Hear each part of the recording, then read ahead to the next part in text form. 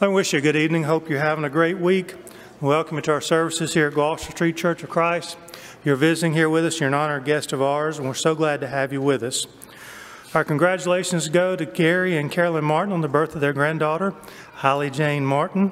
Yesterday, July 26, she weighed 7 pounds and 2 ounces and was 20 inches long.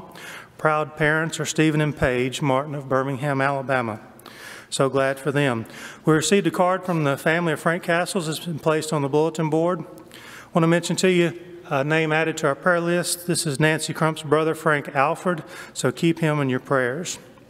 There will be a meeting for parents of those in grades 7th through 12th after services Sunday evening, July 31st, to set up the TNT area-wide meeting schedule. You can see George Heath if you need more information on that. And remember our goal Sunday coming up on July 31st. We'll have a potluck lunch afterwards for our guests to stay and enjoy with us. Philip Crow will lead our singing, Greg Jones has our lesson, and Bradley Williams will dismiss us to our class of closing prayer.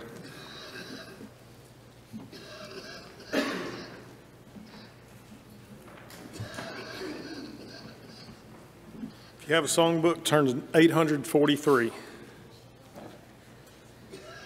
843. As the deer panteth for the water, so my soul longeth after thee. Your love my heart's desire, and I long to worship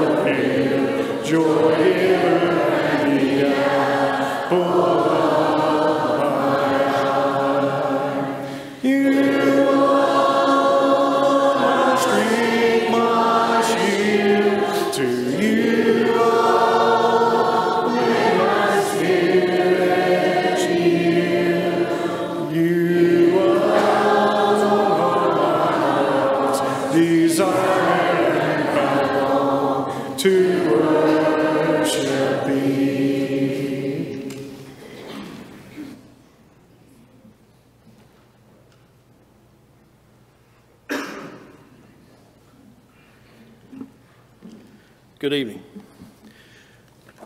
Imagine it's a uh, Saturday afternoon and you're, you're sitting around your house. Uh, you've had just a nice leisure day, uh, whether just watching TV or um, working in the yard or whatever, and you decide to go in the kitchen, either to fix yourself a, a nice snack or fix supper for that night or whatever. And uh, you get to looking around the kitchen and you're, you're missing a key ingredient.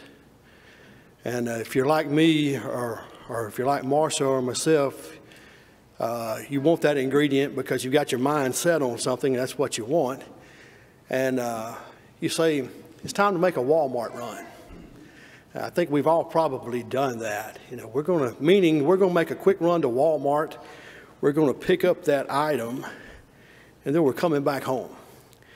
And in the process of uh, getting ready for that quick Walmart run, you may look at a mirror and you may look at your shirt. My hair may be, you know, it's just, Uh, I haven't done anything about my appearance.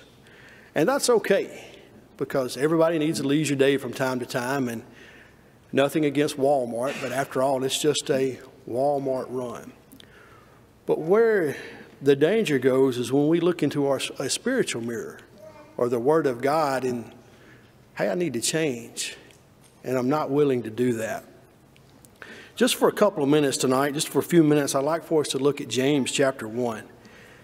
It um, sort of alludes to this. James chapter 1, verses 22 through 25. James 1 22 through 25 says, But be doers of the word and not hearers only, deceiving yourselves. For if anyone is a hearer of the word and not a doer, he is like a man observing his natural face in a mirror. For he observes himself, goes away, and immediately forgets what kind of man he was.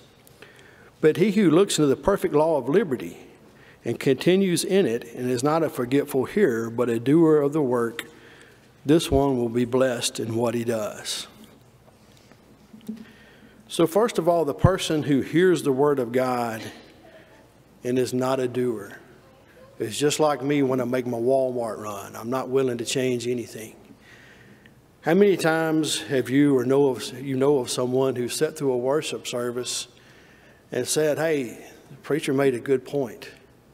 I need to make a change in my life, whether it's to become a Christian or there's something I need to repent of, or maybe there's just something that I need to do better." And uh, I walk out the door. I may even say, "Enjoyed your lesson" to whoever it was that preached that sermon. Or I could be sitting in a Bible class, same situation. That's a good point. I need to make a change, but I do not do it. I walk out the door, I go home. Maybe I'm studying the Bible at the home, at my home. Same scenario. Not willing to change. I'm just like this person who looked at himself in a mirror and didn't do anything about it. I go on and I forget. Maybe it's because of selfish reasons. They're not willing to change or give that sin up. Uh, I think it's also part of the problem is uh, we're not willing to make an effort sometimes. Making a change takes effort, especially when you're trying to do right or realize that you need to do something better. It takes effort and make a change in their life. It says, But he who looks into the perfect law of liberty and continues in it is not a forgetful hearer, but a doer of the work. This one will be blessed in what he does. This is the person that when he studies the Bible, he reads the Bible, he hears a lesson, and he knows he needs to make a change, whether it's to become a Christian or, or do something better or repent of something. He takes care of it. He does it. He remembers what he sees, and he does something about it. Notice it says, He who looks into the perfect law of liberty and continues in it. He continues to do what's right. He continues to do what God says. The New American Standard uses a term that I, I really like. It says, He who looks intently into the law of liberty. If you look intently into something, you concentrate on it. Uh, you try to apply it. You earnestly look, are seeking the truth. So, in whatever case it may be, if you look intently into the Word of God, and you change, you make that necessary change. It goes on to say, This one will be blessed in what he does. How all will that person be blessed? Well, there's many ways. This person is blessed because he's now doing the will of God. He's living according to God's word. Uh, he does not have the burden of sin because he's been forgiven of his sins. He does not have the thought in his mind, well, I know to do better and I'm not. So that person who looks into the perfect law of liberty, the Word of God, the spiritual mirror, and he's willing to make a change, uh, he's blessed. He's happy because he knows he's a Christian. He knows he's living in God's favor. You know, it could be something tonight that that maybe you just need to do better. Maybe you know, hey, I need to fellowship with other Christians more than what I do. Maybe I should study more. Maybe I should pray more and uh, that's all good. But be willing to make a change when there's things that you need to repent of or to become a Christian as well. We can have that peace knowing that we're serving God. We can know that um, we're living in an acceptable way to Him. We have hope in our lives. We know that we have salvation. So tonight, don't be like the person that looks into the mirror and forgets what he saw. Don't, do not be like me that needs to make the Walmart run and you know just does not care and goes on. Be that person that looks into the perfect law of liberty, that hears the word of God and is willing to do it. If you're here tonight and you need to become a Christian, don't put that off any longer. Do so tonight. Or if you're here and you haven't lived as a Christian should, there's things you need to repent of, or maybe you just need prayers for strength. Won't you come forward now as we stand to sing? I have decided to follow Jesus. I have decided to follow Jesus. I have decided to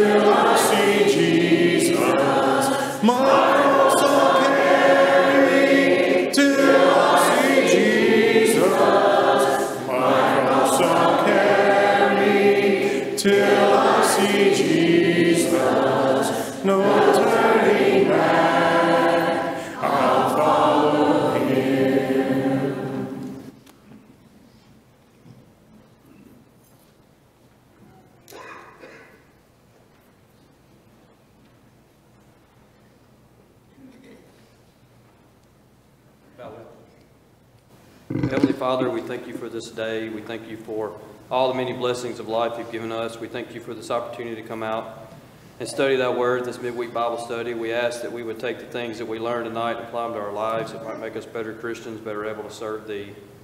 We ask that you would be with all those that were mentioned as being sick here. Those of this number, we ask that you would watch over, care for them, bring them back to their appointed ways in life. We ask to be with all of us here as we go to our classes. Forgive us where we failed in Christ, and we pray. Amen. We are on our last of these video lessons tonight. So you may be sad or you may applaud that, but regardless, we will move on to something else next week. Y'all keep in mind, please, our uh, Goal Sunday that's coming up this weekend. We've got a beautiful kitchen over there in the annex. More importantly, we've got an opportunity to get together to fellowship. We haven't in a long time. It's, uh, it's exciting to do that. Care groups will be starting again before long. We've missed that opportunity for fellowship, to spend some time with each other. Some of y'all are looking at me funny. It is Sunday, isn't it? That means cook. Remember to cook. Right, yes. Please remember to bring food. That's what I should have said. There's always plenty. We, we hope everybody gets to stay for that and spend some time. Before we start tonight, let's, uh, let's have a prayer. Our Father in heaven, we're thankful for this, for this day, for this opportunity that we have to be together, to study Thy Word. We're thankful for this congregation, for what it means to all of us. Father, we are mindful of the life of Christ, the time that He spent here on this earth. We're thankful for this opportunity that we've had to study Him. Above all things, we thank Thee for the opportunity we have for salvation, for the sacrifice that was made for our sins.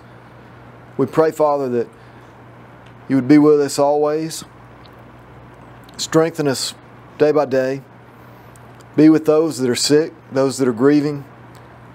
Strengthen us spiritually, Father. Help us always to keep our minds on Thy will. Help us, Father, to follow Thy will every day. We ask Thy forgiveness when we fail Thee. It's in Christ's name we pray. Amen. All right, we are studying in Luke chapter 24 tonight. the, uh, the scene on the road to Emmaus and then shortly thereafter. So we'll read tonight verses 13 through 35. Luke 24, verses 13 through 35. That very day, two of them were going to a village named Emmaus, about seven miles from Jerusalem, and they were talking with each other about all these things that had happened. While they were talking and discussing together, Jesus himself drew near and went with them. But their eyes were kept from recognizing him, and he said to them, What is this conversation that you are holding with each other as you walk? And they stood still, looking sad. Then one of them, named Cleopas, answered him, Are you the only visitor to Jerusalem who does not know the things that have happened there in these days? And he said to them, What things? And they said to him, Concerning Jesus of Nazareth, a man who was a prophet, mighty in deed and word before God and all the people, and how our chief priests and rulers delivered him up to be condemned to death and crucified him. But we had hoped that he was the one to redeem Israel.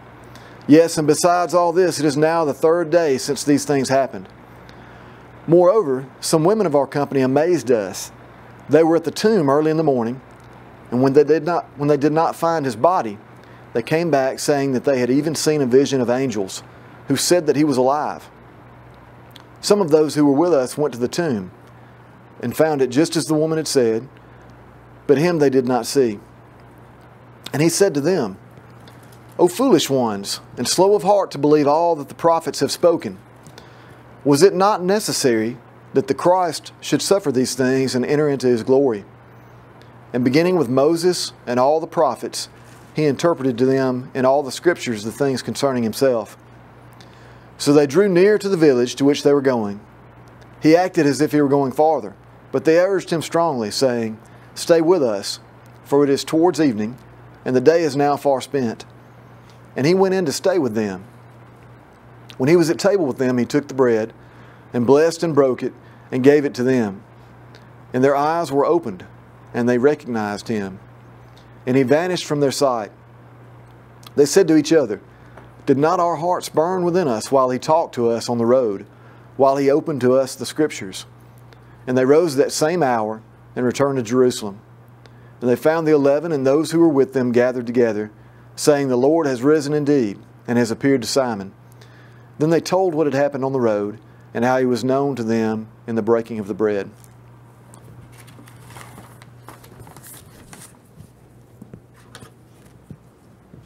Luke does a beautiful job of telling us the story of Jesus, from the story of his birth all the way through his resurrection and what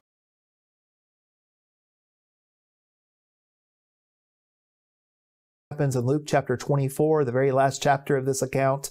We see Jesus' compassion in action. In this particular lesson, we're looking forward to one of our graduate students. He's currently enrolled working on a Master Divinity degree, Tyler Alverson, delivering our lesson. Tyler now preaches at the Seven Oaks congregation in Mayfield, Kentucky, where he and his wife Leslie serve alongside of one another and benefit and bless many who know them. We're looking forward to this particular lesson presented by Tyler on Jesus and Revelation from Luke 24, verses 13 through 35.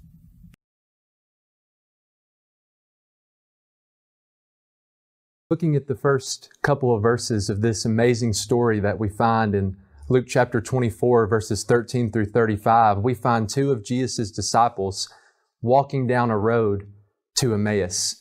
They're traveling from the city of Jerusalem to this small village of Emmaus, about a seven mile journey.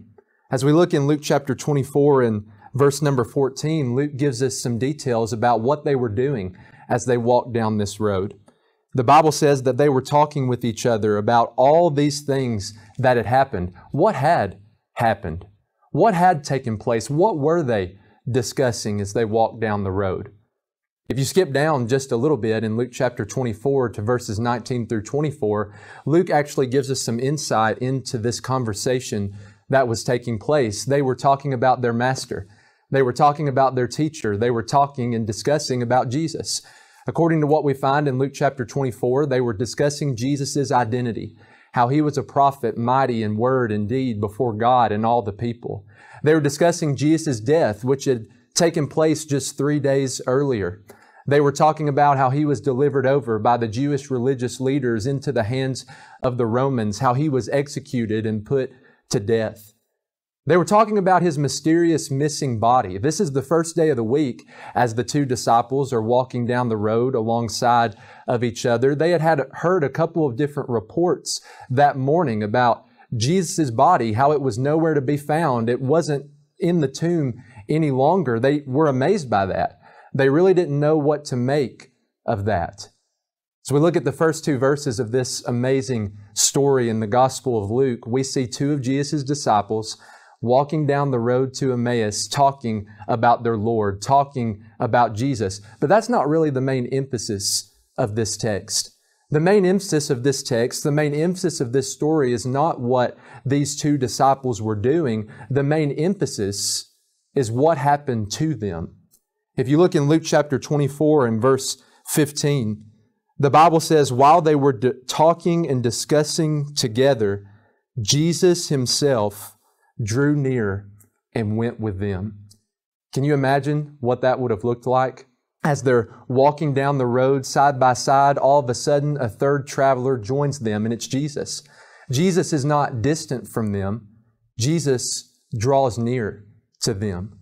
Jesus isn't walking with them only when it's convenient for him. No, Jesus is walking with them every step of the way as they go down the road towards Emmaus. Have you ever read a Where's Waldo book before? I don't know about you, but for me, they can be kind of frustrating. If you've never read a Where's Waldo book before, out of a picture that takes up both pages, when you open up the book, there's all kinds of different people doing all kinds of different things, and you're trying to find one tall, slender man wearing a red and white striped shirt. If you're like me, Where's Waldo can be a hard question to answer. It can be a frustrating question to answer where you just want to close the book and put it away, never to pick it up again. Perhaps sometimes an even more difficult question for us to answer as Christians is not where's Waldo, but where's Jesus? Life can be so difficult. Life can be so challenging and hard. Life oftentimes brings very painful circumstances, circumstances that leave us asking, Circumstances that leave us wondering, where is Jesus? Where is Jesus in the midst of all of this pain? Where is Jesus in the midst of all of this difficulty?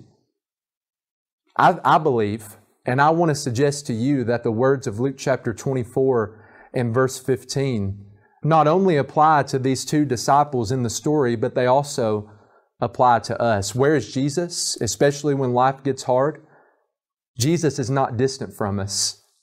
Jesus draws near to us. Jesus doesn't just walk with us whenever it's convenient for Him. No, Jesus walks with us every step of the way as we go down the path of life together. Let's explore that idea. As we work through this text and work through this story in Luke chapter 24, let's take a few minutes to reflect on the presence of Jesus in our lives. Number one, Jesus is present, according to verse 16, even when we don't recognize it. In verse 15, like we said a moment ago, Jesus draws near and begins to walk with these two disciples. Luke gives us a little note in verse 16 that the two disciples' eyes were kept from recognizing Jesus. Whether this is because of their own spiritual blindness or whether this is something that God did to them intentionally in His sovereignty, Jesus is close to them. Jesus is walking with them. He's drawing near to them, but they don't recognize it. Even though they don't recognize the presence of Jesus as they walk down the road, He's still there. He's still present. And I believe the same thing is true in our lives. Jesus is present in our lives even when we don't recognize it. Like we said a few moments ago, we go through trials, we go through difficulties, we go through hardships, and they sometimes leave us asking, Where is Jesus? They sometimes leave us feeling like Jesus has left us. They leave us feeling as if Jesus is distant from us, even when we don't recognize it, even when we don't think it to be the case, even when we don't feel it in our hearts. Jesus is close. Jesus is present. Jesus is walking with us.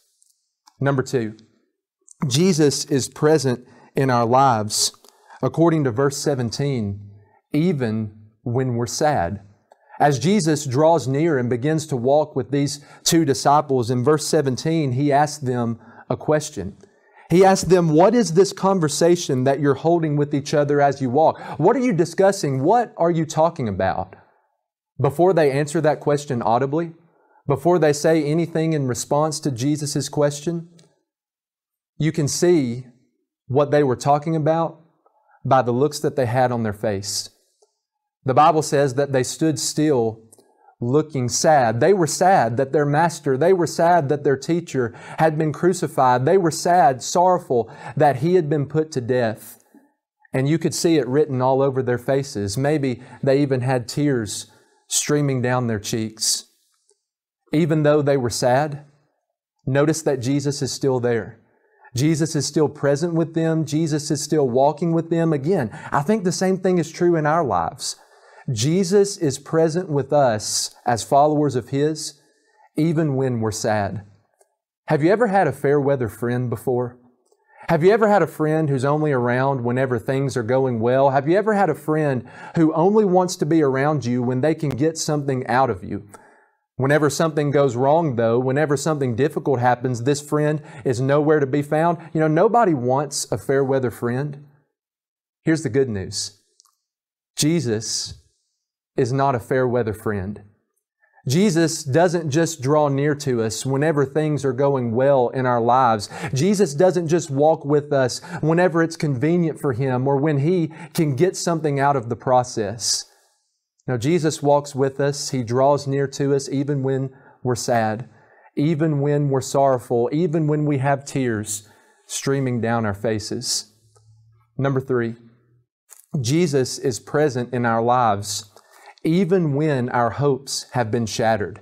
In the text, Jesus asked these two disciples a couple of different times, What are you talking about? What are you discussing? And like we mentioned a few minutes ago, they reveal to Jesus in verses 19 through 24 exactly what they were talking about. They were talking about Jesus. It's a little bit ironic, isn't it?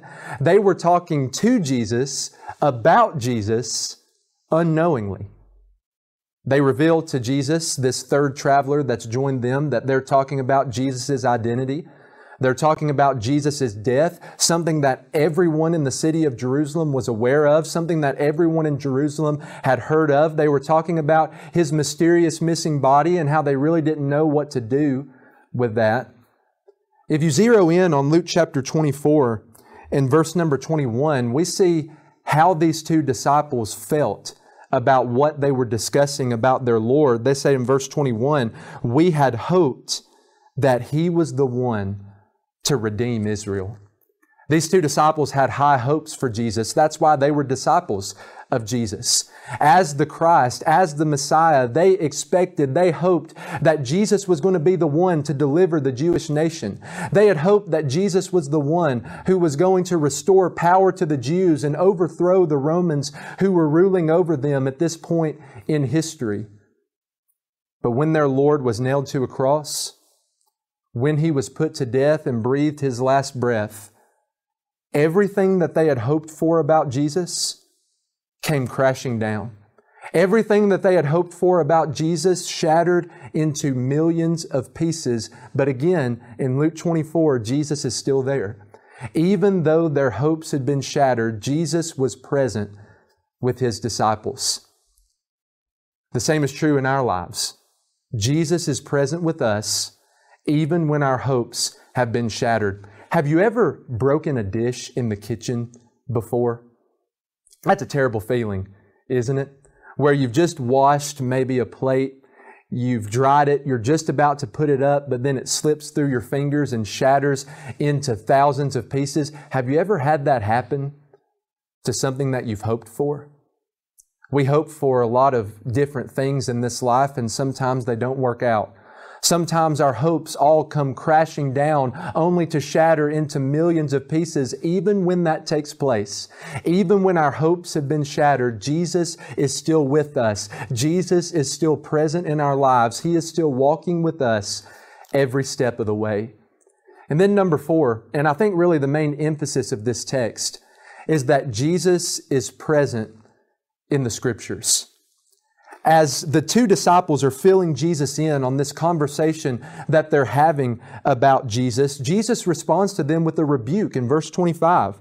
He calls them foolish. He calls them slow to heart to believe all that the prophets had spoken. According to verse 26, these two disciples should have known. They should have expected that it was necessary for the Christ to suffer and to die. They should have known, they should have expected that it was necessary, that it was essential for the Christ to subsequently be resurrected and enter into his glory. Jesus asked, Was it not necessary for these things to take place? How should they have known that?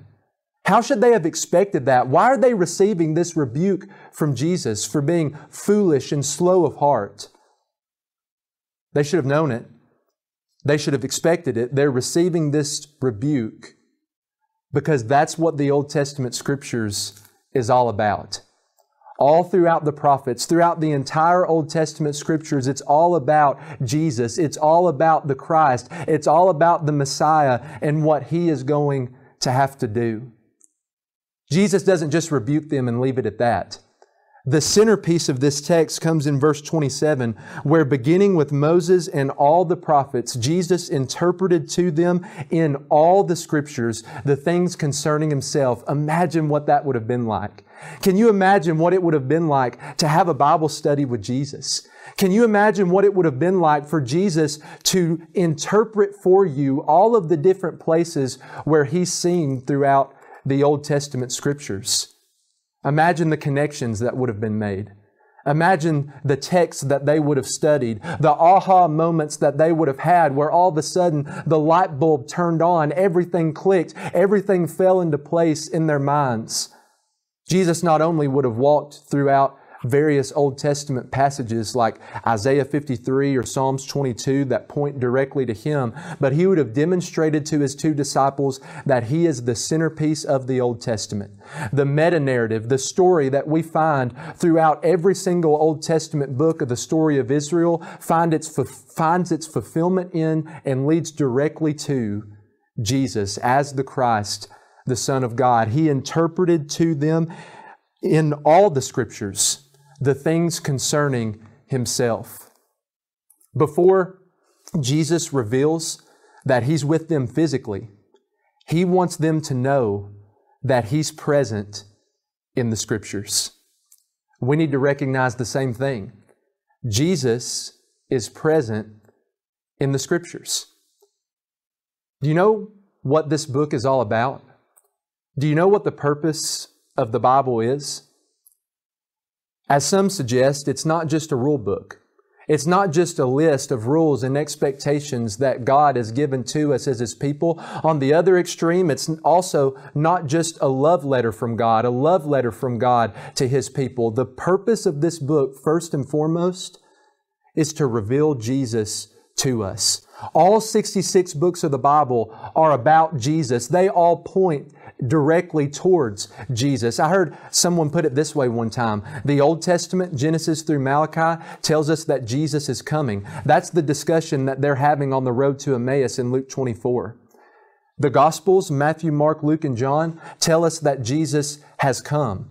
Acts and the rest of the New Testament, the rest of the epistles, the letters that are written tell us that Jesus is coming back and how we need to prepare for that every day of our lives. They reveal to us how we can have a relationship with Jesus. They reveal to us how we can absolutely fall in love with Him and live a life that is in step with that. Do you feel like Jesus is absent in your life? Do you feel distant from Jesus? Do you feel like He's not there? Perhaps the reason for that is that our Bibles have remained closed for far too long. Perhaps the reason we sometimes feel that way is because we've allowed our Bibles to collect a little too much dust. Every time we open up the pages of this book, we come face to face with a Christ who loves us more than we can even imagine.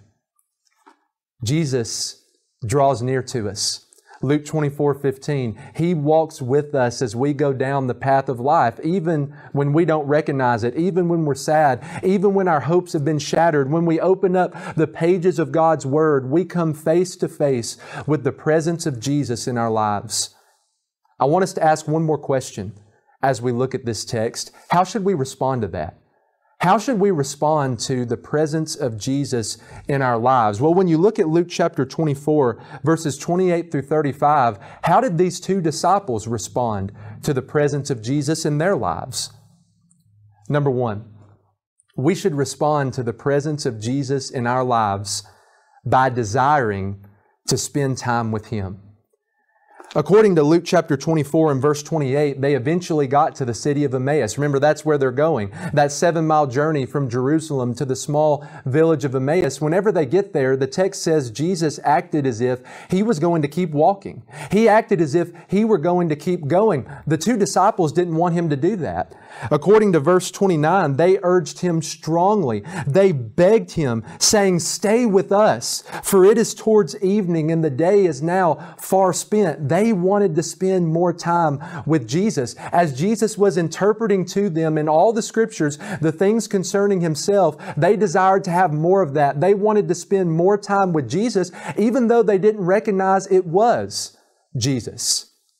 Here's something we need to acknowledge and appreciate about Jesus Jesus stays where he's wanted. So they invite Jesus into their home in Emmaus. Jesus enters in. They sit down at the table. They begin to eat a meal together. And it's in that moment where the blinding in verse 16 is taken away. The veil is lifted. Their eyes are open. They recognize that Jesus, their master, their Lord, their teacher, who was crucified just a few days ago, whose body is missing, he's the one who's sitting at the table with them. Immediately, when they recognized that, he vanished from their sight. Because they desired to spend more time with Jesus, their eyes were opened to who was really sitting at their table. In response to Jesus' presence in our lives, we should desire, we should want to spend more time with Him. I'm afraid that as Christians, sometimes we have a mindset that we have in a number of different areas in our lives. How can I do the absolute bare minimum spiritually and still be okay? How can I do the bare minimum in my relationship with Jesus and still have a relationship with Jesus? Sometimes we want to know that lower limit. Whenever we truly recognize the presence of Jesus in our lives, I want to suggest to you, we're not just going to do the bare minimum. Whenever we recognize and we embrace the fact, whenever we trust the fact that Jesus is close to us and He's walking with us wherever we go, whatever we do, whatever we find ourselves doing, whatever is going on in our lives, when we embrace that fact, when we place our trust in that, we're going to do everything that we can to spend more time with them. We're going to have a great desire to spend more time with them, a desire that says, I can't wait for later in the day where I'm able to open up the pages of God's Word and spend time with Jesus. I can't wait, like Jesus teaches in the Sermon on the Mount, to go into the inner room, to shut the door, and to pray to my Father who's in the secret place. I want to spend more time with Jesus. When we recognize His presence in our lives and we have a desire to spend more time with Him, like these two disciples, our eyes are going to be opened. Our blindness is going to be taken away. Whenever we recognize Jesus' presence in our lives and we desire to spend more time with Him, our eyes are able to be opened to a greater reality of who He is and what He's doing in our lives. Number two, when in response to Jesus' presence in our lives, we should be very balanced between the head and heart. We should have a balanced response between how we feel in our hearts and what we think in our heads. That's what the two disciples had in verse number 32. As Jesus vanishes from their sight and they're left sitting around the table reflecting on the experience that they had just had, they said, Did not our hearts burned within us while He talked to us on the road? That's the emotional response that they had to Jesus. Their hearts were burning within them. When we saw the two disciples just a minute ago on the road to Emmaus, they were sad. Their hopes had been shattered they were grieving. They were sorrowful. Not anymore. Now they're comforted, they're encouraged, they're passionate, they're zealous, they're excited about the experience that they just had. Their hearts were burning within them. That's their emotional response. But notice what their emotional response is rooted in in verse 32. Certainly, they had an emotional response to Jesus, but it's not because some dynamic speaker was throwing out religious cliches to them. Certainly, they had an emotional response to Jesus, but it's not because they turned the lights down real low and sang a 10 verse invitation song. Their emotional response to Jesus, according to verse 32, was rooted in their minds. It was rooted in a contextual, diligent, systematic study of the scriptures. Their hearts burned within them in verse 32 while Jesus opened to them the scriptures. In response to Jesus' presence in our lives, we should have a balanced response, a balance between the head and the heart. It seems to me that there are two extremes here, both of them being inappropriate. We can have a lot of feelings and emotions for Jesus, but then not really know anything about Scripture. Or we can treat the Bible like an academic subject where we know every Bible verse and we can answer every Bible question and we can list off every Bible fact, but we have no feelings, no passion, no emotion for the one who gave us the Bible in the first place. Both of the extremes are inappropriate. We need to strike a balance in the middle in response to Jesus' presence in our lives, we should have an emotional response that's based on an intellectual response. Our hearts should be burning within us as we contemplate and meditate on the words of Scripture in our minds. And then finally, number three, in response to Jesus' presence in our lives, we should have an urgency to go and tell other people. These two disciples didn't waste any time. According to verse 33, they rose that same hour and returned to Jerusalem. They had just had an experience with the resurrected Lord. That wasn't something that they could keep to themselves. It's something that they had to share. And so they go back on the journey that they just completed. That very same hour, they got up from the table. They traveled seven miles back to the city of Jerusalem. They found the apostles and all of those who were gathered together with the apostles and they announced their message. They told their story. The Lord has risen indeed and has appeared to Simon. Maybe a resurrection appearance, that appearance to Simon that Paul talks about in 1 Corinthians 5 and verse 5. They continued on, verse 35, to tell them what had happened on the road and how Jesus was known to them in the breaking of bread. Like the two disciples that we see there, in response to Jesus' presence in our lives, we should have an urgency to go and tell others. I think sometimes we overcomplicate evangelism. We think about evangelism as I need to be able to answer every single question that a person might ask me. I need to be able to know every Bible verse, and I need to be able to present Scripture in such an elegant and eloquent way that nobody's going to be able to refute it. I'm going to convert this person because of how great I am and how smart I am. What if we thought about evangelism more like the two disciples in Luke chapter 24? What if we thought about evangelism simply as talking to other people about how Jesus has been present in our lives? How Jesus has drawn near to us and walked with us every step of the way. Do you think that's a message that people need to hear? Do you think that's a message that could benefit people, especially people who are going through great trial and difficulty in life? In response to His presence in our lives, we should have an urgency to go and tell other people. We have to realize there are people in our lives who are walking down a path directed towards the devil's hell. How can we not have a sense of urgency? How can we not be urgent whenever it comes to proclaiming the presence of Jesus in our lives? How He is walking with us in everything that we do and in everywhere that we go. I hope as Christians, we're able to find this encouraging. I hope that we're able to find this comforting. Jesus is present in our lives.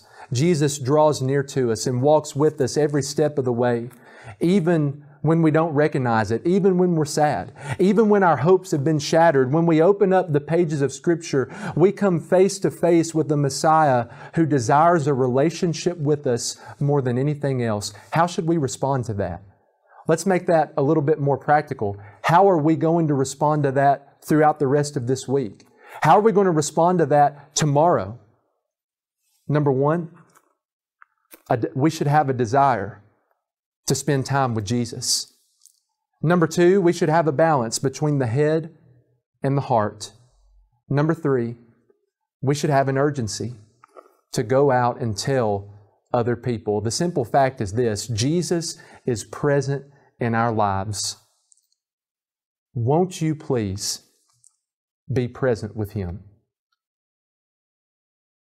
Hello. Thank you for being a part of this study. We appreciate each of the speakers and the wonderful lessons that they're bringing. If you have not yet picked up two of the 13 lesson lectureship books, we would encourage you to do so. We appreciate your continual love, support, and prayers for Freed Hardeman University. Our prayer is that we will always be a great resource to the Lord's kingdom. May God bless you.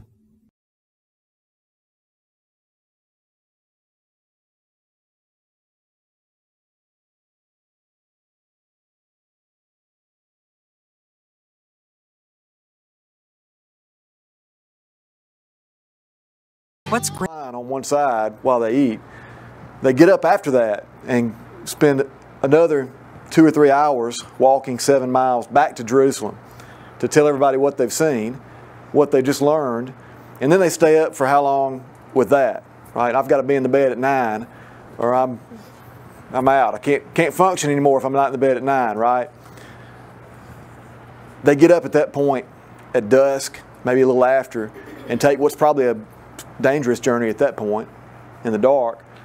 Seven miles. And just the, the fact that they dealt with that kind of thing every day in their lives. We jump in our air conditioned vehicles and we drive down the road and they walked everywhere.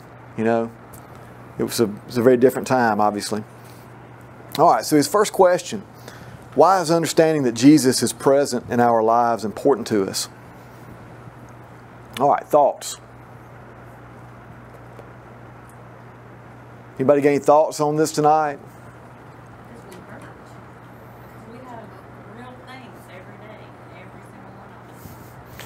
So Beverly gave me that look. This is the same look I had when I read this question. It's like, well, it's like it's, it's core to everything that we believe. That's that's it. We need comfort. We need the closeness. We need the reassure, reassurance of Christ in our lives every day. It's core to our Christianity, and that's really the same same first thought. How do you enunciate that in a five word bullet point answer. That's very difficult. But that's what this whole lesson is about is the revelation of Christ, not just in Luke, but in Scripture. He, he alluded a lot to it in the rest of Scripture. And Scripture is complex and involved. The message is straightforward, but there's a lot of message there. It's not a five word bullet point answer, right? I need Christ every day in my life. We need the comfort. The other thing I think is we need the comfort of knowing there's a greater goal than day to day. We have to be focused. God made us to need that in our lives, for us to need to be focused on Him, to need to believe in something that is greater than ourselves. Christ is, is the vehicle for that.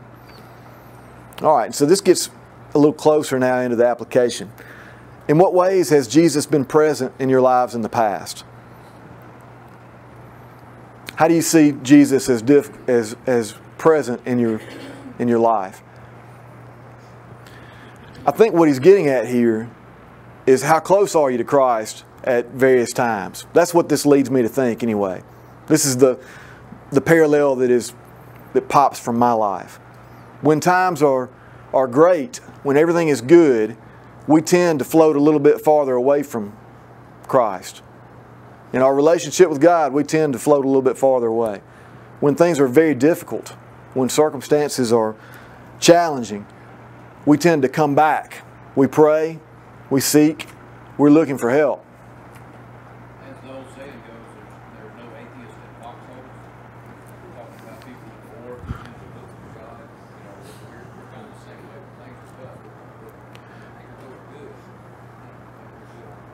Ch- Chad's talked about this in the class over the years, and a lot of us have seen it.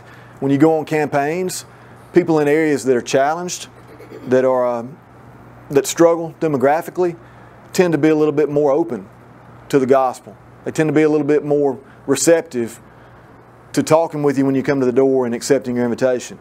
The neighborhoods that are that are very affluent, very gated, very self-sustaining, they don't need you, right? They've already got their routine. Doesn't mean that we don't need to reach out to everybody, but that's the reality. Is that it is easier probably to sell the gospel in terms of the people that you interact with, where there are challenges, where there's adversity and difficulty. How do we counteract that? That's the, that's the next thing that pops into my mind. If that's if, if that's a given in human nature, then I want to counteract that with myself. I need to be close to Christ all the time. I think about this, and, and uh, you know, there's a glide path that a pilot is using as they approach a runway. And that glide path is, is static, it doesn't move. It's in one spot. They have devices that help them tell whether they're on it or not. And the pilot is continuously working to keep that plane as close to that theoretical glide path as they can. God is that way, Christ is that way. He does not move, right? He's always there for us. And it's, it's us in our lives that tend to move away and then have to correct and come back. And when I say move, move away, that doesn't necessarily mean that I left the church and I'm completely lost. It's not what I'm saying at all. But all of our lives have this cyclical quality, this volatility, whether it's minor or it's major, there is movement in the relative level of our, our strength, our faith at any given time. So I have to be continuously pushing myself back to try to stay as close as I can to Christ. Where I'm going with that is I think in the good times, you use gratitude. You focus on recounting your blessings, thanking God for what He's given you, the fact that you didn't create all of that. Whatever it is that's good in your life, you're blessed with that because God afforded you that opportunity. Celeste. What you said is true, I'm not contradicting it, but at the same time, as in the passage, he was about to go on until they invited him. And it makes me think of where Jesus said, Behold, I stand at the door and knock. If any man will open, I will come in. So he will meet us more than halfway. He's not just completely stationary. He is going to have more presence in our lives as we ask him to. Maybe what I should say is He's always there if I seek Him, right? James 4 tells us, draw near to God. And He'll draw near to you. So But I don't seek Him one time and then I'm done. That's not how it works. It's a, it's a continuous process that doesn't end. Like Peter on the water, he can keep his eyes on Jesus. In what ways is Christ present in Scripture? He talked about how all Scripture points to Christ. And then this fourth question how can we do a better job of having a balanced response to the presence of Jesus in our lives? And he's talking about emotional and logical, the, the knowledge and the, and the emotion. And what I think of here is spirit and truth. That's the first thing that pops in my head, which is really talking about our worship, but I think it's, it's all there in application. Thoughts on that? How can we, how can we strengthen the emotion? How can we strengthen the knowledge? It's not a trick question. It's, this is easy. All of y'all are thinking it. I can study. Brother Alverson used the term being with Christ, right? Fellowshipping with Christ, drawing near to Him, spending time with Him. What he's saying when he says that every time is reading my Bible. That's what I have that has been given to me that has Christ in it. It is there continuously. I can read my Bible, I can pray. Those are the two ways that I am near on a continuous basis. And so, my personal opinion is that emotion takes care of itself if we feed logic. The spirit part is the, is the hard part, I think. The emotion is the hard part. It's very easy to get in the habit of coming here time after time and following the same ritual and, and be, becoming rote, which is not what we're here to do. We should be thinking and engaged, and that is our hearts and minds working together. But it's got to be grounded in truth. And faith cometh by hearing, hearing by the Word of God. If I want to increase my faith, I read. And not just read, but study with a purpose. I think too often we get in the habit of sitting down and maybe reading a chapter, which didn't exist when the Bible was written at all, right? But we, we read a chapter and think we get to the end of that chapter and we, we've accomplished what we need to accomplish for the day or the hour or whatever, and we go away from it. We need to try to structure our study to achieve something as well. Outside of just what you get here in these in these classes and in these sermons and discussions. Randy, I think the hard part is turning the world off, you know, getting, getting that, out- you know, getting that out of your mind and, you know, being able to turn off from daily activities and, and, and concentrate on, on the scriptures. Bells, notifications, right? You turn them all off. Appreciate y'all's attention tonight. Hope you have a great week. We'll see you Sunday.